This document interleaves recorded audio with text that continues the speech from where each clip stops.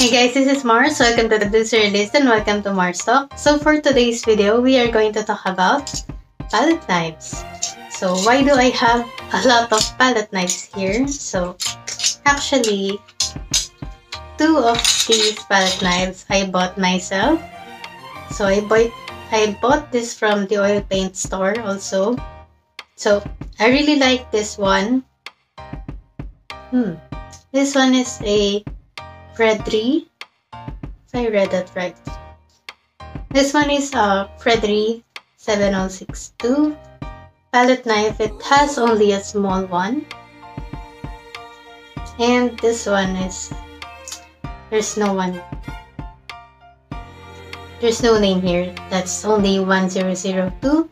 And this is what I really use most of the time. So it's this, it's just this big.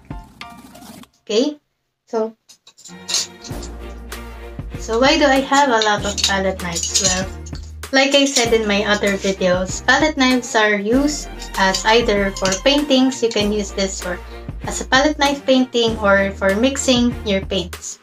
So,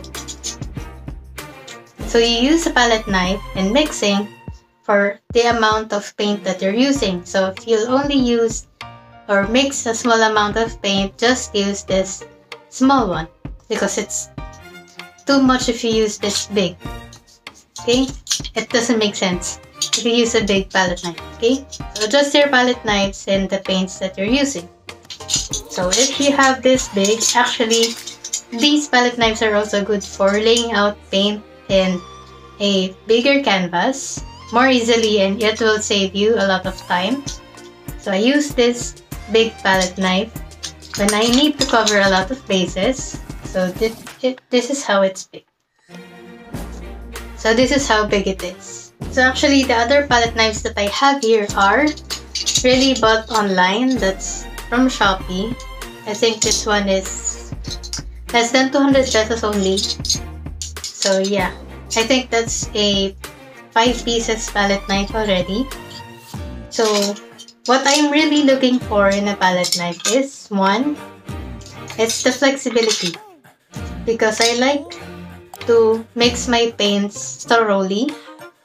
So look at how flexible this one is. See, so if you scrub your paints that way and you can also scrape the paint underneath.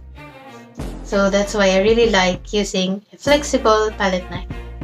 Okay, so that's a pointer for you if you're looking to buy a palette knife. So Get one that's very easy to hold and easy to mix in. Just like this flexible palette knife. Okay?